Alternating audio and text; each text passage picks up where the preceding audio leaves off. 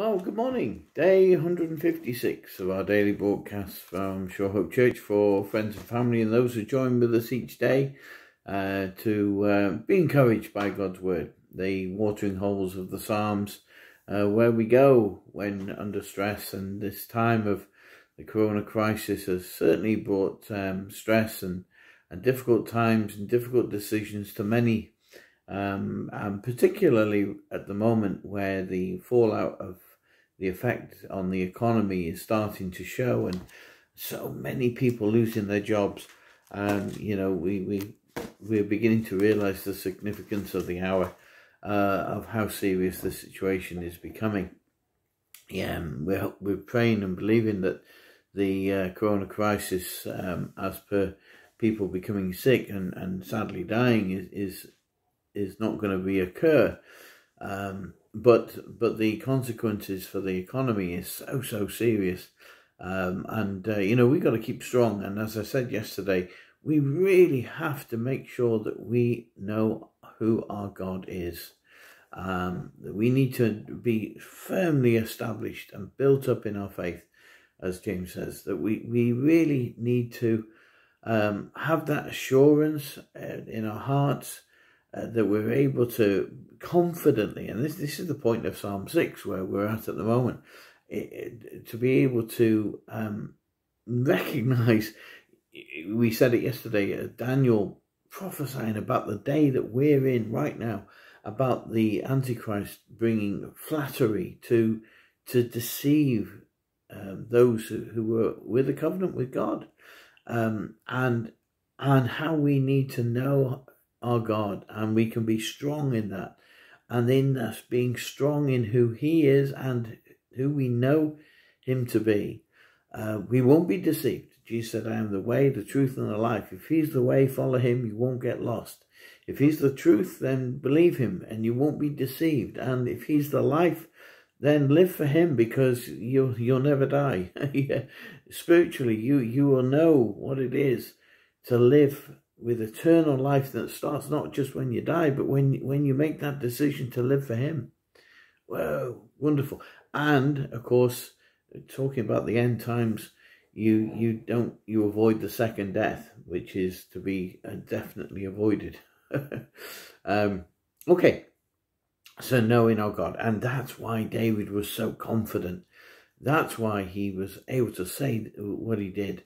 I mean, we've got a storm coming in today. You know, all the warnings, the yellow, pink, green. I don't know what, what is yellow warning, I think, isn't it, for high winds. Uh, and what they're saying is an unseasonal storm uh, with high winds. Uh, you know, we're, we're experiencing some unseasonal, um, not just weather, but unseasonal experiences. We're not, we're not used to this. Um, but sadly, um, this this is the day we're living in, and Jesus warned about this day. He said it would come, but when it does, and it's here, he says, "Look up, your redemption draws nigh." You, you, you know, he it, it's not long. So be encouraged today. Be blessed. Be encouraged. We're finishing Psalm six. Hooray! it's only taken whatever it's taken nine days.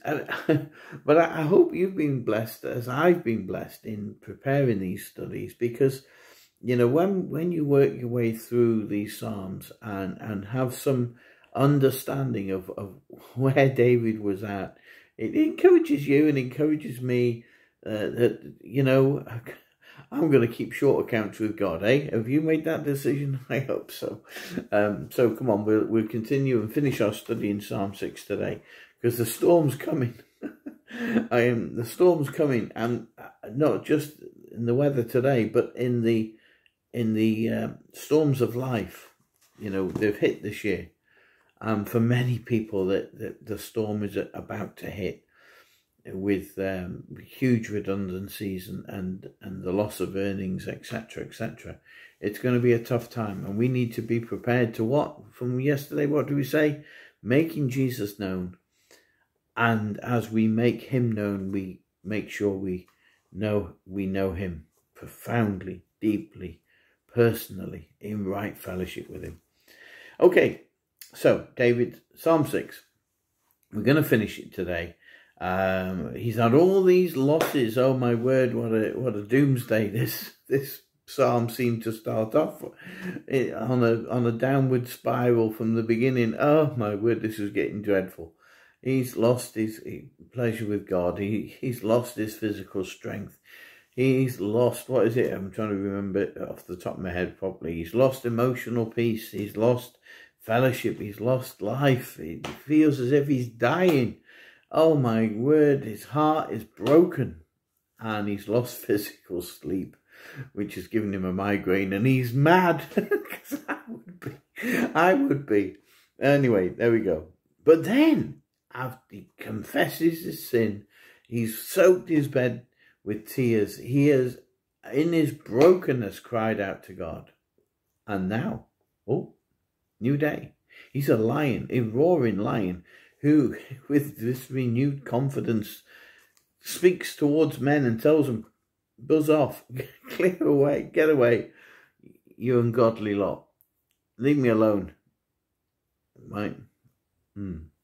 I'm in right fellowship with God. And then he's got this confidence now with in God and to, his confidence towards God that God has heard his his cry and his pleas, and he can say, "I am forgiven." Knowing God in His righteousness, His right way of doing things, knowing God to be holy and just. Yes, He punishes sin, absolutely. He cannot be holy, He cannot be just if He doesn't punish sin. But He's forgiving and He's merciful. God of love. But then there's one more thing just as we finish the psalm today, there's one more thing that David wants to say. When you and I probably leave it at that, and we're very, we're, we're very happy that our enemies are buzzed off. we're, we're quite content that we've got our confidence, we've got our mojo back, and we're we're confident with man, and we're confident with towards God, and we we we know who we are in Christ, and we we know our sins are forgiven. We know we're on our way to heaven. Bye. Thanks very much. We, we we're good. We're pleased. We're happy with that. But they no no. David is like a roaring lion. He is not going to give up just yet. Hold on a minute. There's one more thing. There's one more thing he wants to say. um, verse 10. So we're going to read the psalm again. And obviously it's the last verse today that we're looking at, okay? So, O Lord, don't rebuke me in your anger or discipline me in your rage. Have compassion on me, Lord, for I am weak. Heal me, Lord, for my bones are in agony. I am sick at heart. How long, O Lord, until you restore me? Well, that came. the how long wasn't that long in that in this psalm anyway. He he knew what it was to be restored. Return, O Lord, and rescue me. He knew what it was to be rescued. Save me because of your unfailing love. For the dead do not remember you. Who can praise you from the grave? I am worn out from sobbing. All night I flood my bed with weeping, drenching it with my tears. My vision is blurred by grief. My eyes are worn out because of all my enemies. Go away, all of you. Buzz off is, is the Go away, all of you who do evil, for the Lord has heard my weeping. The Lord has heard my plea. The Lord will answer my prayer. And here we are, verse 10. May all my enemies be disgraced and terrified. May they suddenly turn back in shame. okay, hold on a minute. Right. Remember, he's crying. He's still crying to God. He's praying to God. So David has one more thing to say. What's he? What's he having to say? Mm. His renewed confidence in God means that David now believes that God is going to intervene on his behalf and deal with, God will deal with those who have opposed David. God will deal with those who have ridiculed David. God will deal with those who have frustrated David and abused him. God will do it. And so David, having said to his enemies, go away, now he says, to God, go get them. go get them. Go get them, God. Mm. Yeah, you and I would have been happy with go away, wouldn't we? We'd, we, that would thank you very much. No, David, his confidence is restored, renewed. Absolutely. He is fire. This is enough. He has been to the edge of the cliff and now he's come back and he's saying, that's it. I know who I am. I know who God is. I know he is righteous in all his ways. I know he is good and upright. I know he is just. I know he is a good God who knows how to deal with his children righteously in all his ways. Now, so he takes it a step further and says, go get, God, go get them. They need dealing with. ah. Then to their, it's their turn to run for cover. David's run for cover often enough. He knows what it's like to hide. He knows what it's like to be uh, an asylum seeker, really, um, for many years. He knew what it was to carry the guilt and shame, and the guilt and shame that he'd wallowed in at the beginning of this psalm. Uh, now he's saying, "Go get them, God." that guilt and shame that I carried, that I wallowed in, that I was, that brought me to a place of brokenness, Lord, put it on them. go, go get them, God. That they know what it is to wallow in shame and guilt for what they've done. Hmm. What was on him has now been reversed. And now will be upon those who have acted the way they have towards him. Confession. Let's summarize where we're at as we conclude um, this quite remarkable little psalm. Um, confession starts with a heart that is sensitive to the conviction of the Holy Spirit. Um, I put as a, a trailer on yesterday's study, the confession of sin lets the light of God's forgiveness shine through. the moment that we open our mouth and confess our sin, John says it, John 1 John 1 verse 9, if we confess our sin, he is faithful and just to forgive us our sin and to cleanse us from all unrighteousness. Don't forget that. Look, have that have that scripture in in the center of your mind as you as you've gone through Psalm 6. And and so confession of sin lets the light of God's forgiveness. Because when we're in the guilt and the shame, as David was, it's it's a dark place. It is a dark, dark place. And I don't know your situation today. I don't know whether you're maybe in a dark place and they're carrying some stuff um, that that needs to be dealt with. And you know, confession, as I just said, it starts with a heart that is sensitive to the conviction of the Holy Spirit. Maybe the Holy Spirit has been bringing to your memory, like David's memory, when when he was considering his enemies and Absalom, and his memory goes back to Bathsheba, and then he goes back and he thinks, "Oh, what did I do?" And then he remembers, "Oh, Uriah, oh, adultery." that turns into murder to cover up the lie. Oh, you, you know, he's beside himself with grief and he has a sensitive heart. A sensitive heart to the conviction of the Holy Spirit that brings him into a right fellowship again with God when when he when he confesses his sin. So if you're in a dark place today, remember that the confession of sin, when you confess your sin, the light of God's forgiveness will shine through that gloom and that darkness. It will, you know, we said that uh, John says at the beginning of his gospel that uh, when Jesus comes as, as the light, um, you know, the light, truth of God's word, um, it, it, the darkness cannot understand it, cannot overcome it, cannot comprehend it, cannot deal with it. The, the light of God's forgiveness shine into you and through you today. Don't go another day in that darkness. Uh, just a, one more thing I, I th thought we should say, it's always good to keep short accounts with God.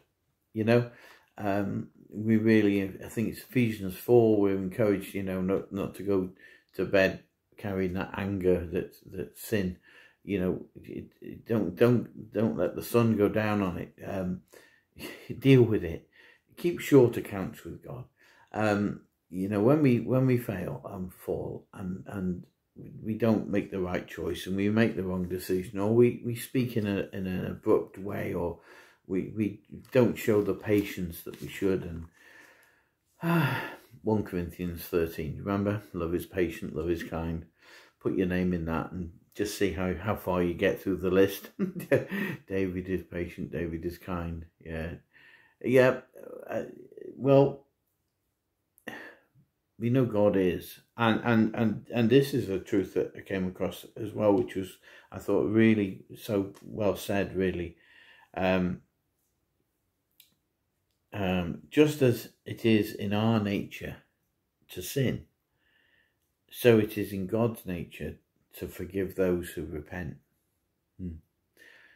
Okay, we fall and fail, we get it wrong, but that's our nature um, and, and we've in Christ, He's given us a new nature. We've taken off the old and put on the new. And there's a battle royal taking place. Um, and uh, when we do mess up, 1 John 1 verse 9, confess your sin. He is faithful and just to forgive you and to cleanse you from all unrighteousness. Praise God for that. but um, we need to make sure all the time that we resist sin, pursue righteousness, and follow after God in these days. Um, let's just remind ourselves of the song that the that the Israelites were were were taught by Moses and were were uh, made to sing.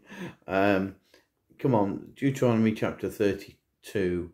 I'm just going to read the first four verses. Listen, O heavens, and I will speak. Hear, O earth, the words that I say. Let my teaching fall on you like rain. Let my speech settle like dew.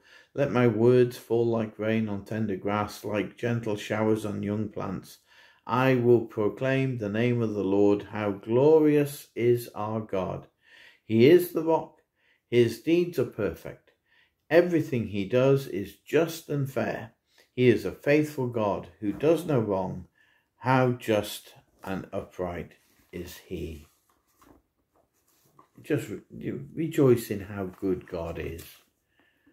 And he is just and fair, good and upright.